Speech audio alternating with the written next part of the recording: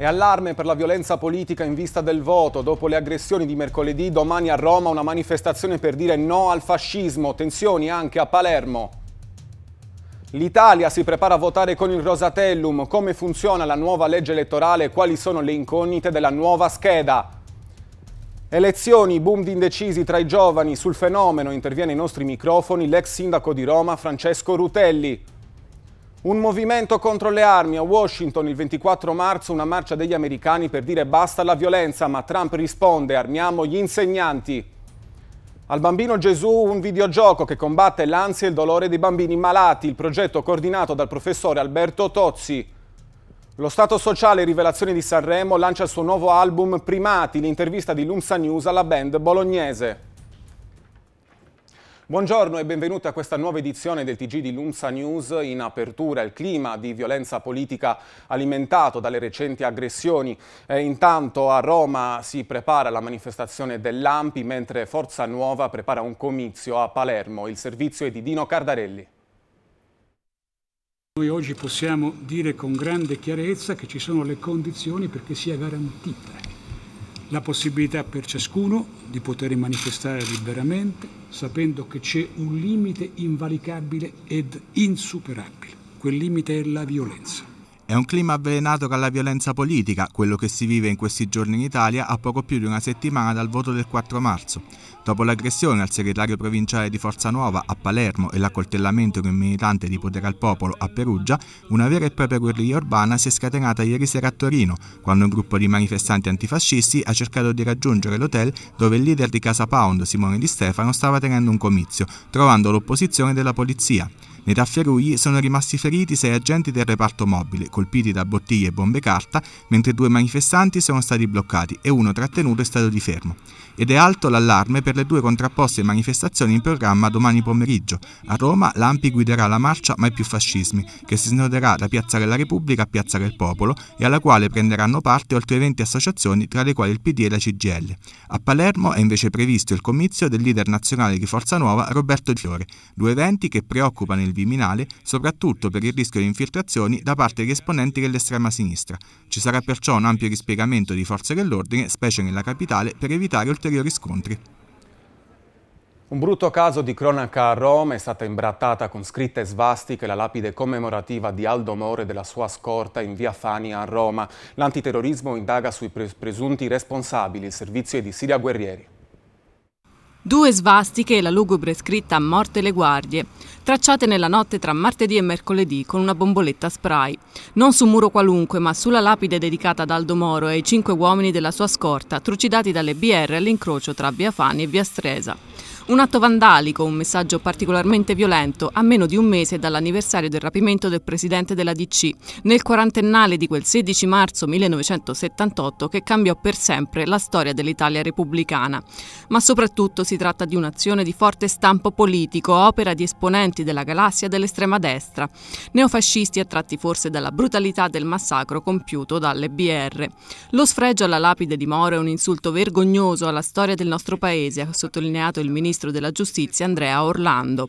Un insulto ai tanti servitori dello Stato che hanno perso la vita in quegli anni terribili e il commento dei familiari delle vittime della strage che preparano la cerimonia di inaugurazione del nuovo monumento. Per individuare gli autori, l'indagine è stata affidata al pool antiterrorismo della Procura di Roma. Un'ultima ora che arriva dalla nostra redazione, il differenziale di rendimento tra il Bund e il BTP torna sopra i 140 punti base, superando il picco segnato ieri dopo i timori espressi dal Presidente della Commissione europea Jean-Claude Juncker. E passiamo alle elezioni politiche del 4 marzo, diamo uno sguardo a quello che saranno ehm, i... Eh, scusate, il nostro Davide Di Bello ci spiega qui in studio quali saranno appunto i punti della nuova scheda elettorale. A te Davide. Buongiorno Valerio, sì grazie. Andiamo a tentare di spiegare agli italiani come funzionerà, come si voterà il 4 marzo con questa legge elettorale un po' complicata. Il nuovo Parlamento verrà eletto con un sistema misto, come vediamo dalla grafica, per il 64% proporzionale, per il 36% maggioritario. Cosa significa questo? Che due terzi dei nuovi deputati e senatori verranno eletti con un sistema proporzionale di lista, nei quali eh, i seggi saranno assegnati in base alla percentuale di voto ottenute dalle singole liste nei collegi plurinominali. Il restante terzo invece verrà eletto in collegi uninominali nei quali si aggiudicherà il seggio il candidato che avrà ottenuto anche un solo, in voto in, anche un solo voto in più del suo avversario. Vediamo come tutto ciò si traduce in numeri concreti. Nella nuova Camera saranno 386 i deputati eletti nei collegi plurinominali e 232 negli uninominali. Nuovo Senato invece 193 i senatori eletti nei plurinominali, 116 invece negli uninominali.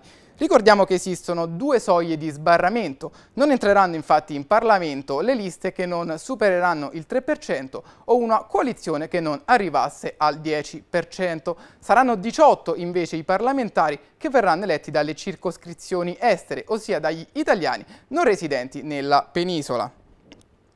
Vediamo eh, nel dettaglio adesso come si come voteranno gli italiani il 4 marzo. Gli elettori si troveranno davanti due schede, una rosa per la Camera, una gialla per il Senato. Come è composta questa scheda? In alto ci sarà il nome e il cognome del candidato nel collegio uninominale, sotto il simbolo della lista o delle liste a lui collegate che lo supportano, accanto i candidati nel listino plurinominale bloccato l'elettore potrà tracciare una scheda sul simbolo votando la lista. In questo caso il suo voto si estenderà anche al candidato nel collegio uninominale. Oppure potrà anche eh, votare il candidato nel collegio uninominale, ma in questo caso il suo voto verrà ripartito percentualmente alla lista o alle liste che lo sostengono. Potrà anche eh, tracciare un doppio segno sia sul candidato nel collegio uninominale che sui simboli della lista o delle liste che lo sostengono. Il voto sarà valido anche in questo caso. La scheda invece sarà nulla se l'elettore traccerà un simbolo eh, sui nomi dei candidati nei collegi plurinominali. Non è infatti consentito esprimere preferenze in questo caso la scheda verrebbe annullata. Non è inoltre previsto il voto disgiunto, cosa significa che l'elettore non potrà tracciare un, votare eh, un candidato in un collegio uninominale e dallo stesso tempo una lista che non lo supporta. In questo caso la scheda sarà nulla. Quella del voto disgiunto è un'opzione invece consentita che avranno a disposizione gli elettori di Lazio e Lombardia che nello stesso giorno dovranno anche votare per rinnovare i rispettivi consigli regionali. Perciò per loro sarà possibile votare il nome del candidato governatore ed allo stesso tempo un'altra lista che non lo supporta. Per loro sarà anche possibile esprimere due preferenze, a patto che una sia un uomo e un'altra una donna, altrimenti varrà solo il, il voto per il candidato governatore. Che dire, è tutto e ripasso a te la linea, Valerio. Grazie Davide, ci spostiamo negli Stati Uniti dove l'ennesima strage in una scuola in Florida ha riaperto il dibattito sul libero uso delle armi. A Washington il 24 marzo ci sarà una manifestazione per dire basta alla violenza, ma è polemica per Trump che dichiara armiamo gli insegnanti. Giordano Contu. Migliaia di americani in marcia il prossimo 24 marzo lungo le strade della capitale Washington per chiedere ai politici di mettere fine alla violenza armata. La conduttrice Oprah Winfrey e l'attore George Clooney con la consorte Amal hanno donato un milione di dollari per la March of Our Lives. A sostenere la manifestazione anche Barack Obama e la moglie Michelle. Le associazioni chiedono di ripristinare i limiti sulle armi automatiche, cosiddette da guerra, e puntano il dito contro i membri del Congresso, colpevoli di non impegnarsi contro la violenza armata nelle scuole. Il motivo sarebbe il lungo elenco di politici che accettano contributi della NRA, la potente lobby americana delle armi. Nonostante le proteste, Donald Trump rilancia. Nell'incontro alla Casa Bianca con gli studenti sopravvissuti alla strage nella scuola di Parkland, il presidente americano ha proposto di armare gli insegnanti. Dure le proteste dentro e fuori la residenza contro la figura dell'insegnante giustiziere e su Twitter annuncia un passo indietro di facciata. Durante l'incontro in Florida fra i familiari delle vittime ed esperti, una madre ha chiesto che professori siano armati di conoscenza per prevenire le stragi e identificare i ragazzi a rischio. It only works where you have people very adept at using firearms, of which you have many. Trump cerca un difficile equilibrismo, vuole soddisfare i familiari delle vittime senza alienarsi il sostegno della NRA, tutto in vista delle elezioni del midterm di novembre, in cui si voterà per la Camera dei rappresentanti, il Senato e i governatori degli stati. Facciamo un passo indietro e riparliamo di elezioni. È arrivato il servizio di Luisa Vittoria Amen e Valerio Del Conte. Il 4 marzo infatti eh, sarà decisivo il voto degli indecisi. Un giovane su due non ha ancora deciso se recarsi alle urne. Vediamo il servizio. Sondaggi fermi ed elettori sempre più indecisi, soprattutto tra i giovani. Circa il 30% degli italiani è ancora incerto su quale partito votare. Di questi, una buona parte è composta da ragazzi, universitari e liceali. Ad oggi, tra i nuovi elettori, solo uno su due si dice sicuro di andare a votare. Una ricerca di scuola.net attribuisce la responsabilità alla poca informazione e alla scarsa fiducia verso i partiti da parte dei giovanissimi. Ne ha parlato anche l'ex sindaco di Roma, Francesco Rutelli, a margine di un convegno all'Università LUMSA. Come si sveglierà l'Italia il 5 marzo, secondo lei? Secondo me ci sarà un voto forte di protesta, non si capisce manco molto bene verso cosa. Il tema è disaffezione, eh, scoramento, distanza e eh, senso di inutilità dell'esercizio del voto presso moltissimi elettori. Allora, siccome oggi questo vale secondo i sondaggi 35, 40, 45% dell'elettorato, una parte dell'elettorato rimarrà a casa e una parte magari all'ultimo momento tradurrà questa sua incertezza o in un voto contro, e allora vinceranno nettamente le forze, virgolette, contro, oppure recupererà un voto di maggiore, come si può dire, più mainstream. Un'ultima ora che arriva dalla Siria, proseguono infatti i bombardamenti aerogovernativi siriani sulla eh, Ghouta, l'area est di Damasco, controllata dai gruppi armati delle opposizioni, dove si trovano tuttora circa 400.000 civili assediati. Secondo l'Osservatorio nazionale per i diritti umani in Siria, il bilancio sale a 417 civili uccisi, tra loro ci sono anche 96 minori. Ma parliamo ora di salute. Al Bambin Gesù di Roma è stato sperimentato infatti un videogioco creato da una start-up italiana che aiuta i piccoli pazienti oncologici ad alleviare gli effetti delle terapie. I dettagli nel servizio di Carmelo Leo e Antonio Scali. Trasformare la terapia in gioco attraverso la realtà virtuale aumentata e questo è l'obiettivo di un nuovo videogioco che l'ospedale Bambin Gesù di Roma sta sperimentando per alleviare ansia e dolore nei piccoli pazienti con patologie oncologiche. Il servizio, fornito dalla startup Tommy, permette tramite un visore di coinvolgere i bambini nella proiezione di video e immagini di ambienti rilassanti o di fantasia. La distrazione nel bambino provoca intanto una distrazione dalla ansia che riguarda le procedure eh, mediche che spesso sono dolor- dolorose. C'è un effetto specifico poi di questo tipo di approccio sul dolore. Eh, eh, le procedure dolorose sono meno dolorose in, e non c'è bisogno di somministrare alcuni farmaci che abitualmente invece si usano per questo. Spesso si pensa che servizi del genere vengano scelti tra una gamma di prodotti già progettati. Noi vorremmo invece capovolgere la logica e portare invece le eh, start-up che sono naturalmente disponibili a collaborare in un percorso di sviluppo, a dialogare con noi perché noi proponiamo i problemi e loro devono proporre delle soluzioni che sono adatte alle, alle nost- ai nostri problemi, a risolvere i nostri problemi. Ancora polemiche tra il Comune di Roma e i ragazzi del Cinema America per il bando del concorso istituito in piazza San Cosimato. Il servizio è di Gloria Frezza e di Nancy Calarco. Prove di disgelo tra i ragazzi del piccolo Cinema America e il Comune di Roma. Gemma Guerrini, la vicepresidente della Commissione Cultura, che aveva definito il Festival di Cinema all'aperto organizzato dal piccolo America in piazza San Cosimato una riunione di feticisti che rivedono ossessivamente vecchi film, si è dimessa ieri.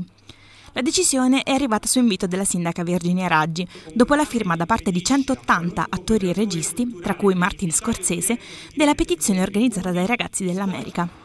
Il cinema a noi piace, lo difendiamo e lo difenderemo, dice la sindaca, ma il bando su Piazza San Cosimato per l'estate resta. I giovani, invitati in Campidoglio il 15 marzo, hanno ribadito le parole del loro leader Valerio Carocci. Questo è il più grande atto di censura politica e culturale che l'amministrazione politica sta compiendo nei confronti della città. In un post di ieri su Facebook hanno detto Viva la cultura libera, viva la vita. Musica e politica, lo Stato sociale, la band arrivata seconda al Festival di Sanremo è in tour in tutta Italia per presentare il suo nuovo album Primati. Li hanno sentiti per noi i nostri Fabio Simonelli e Antonio Scali.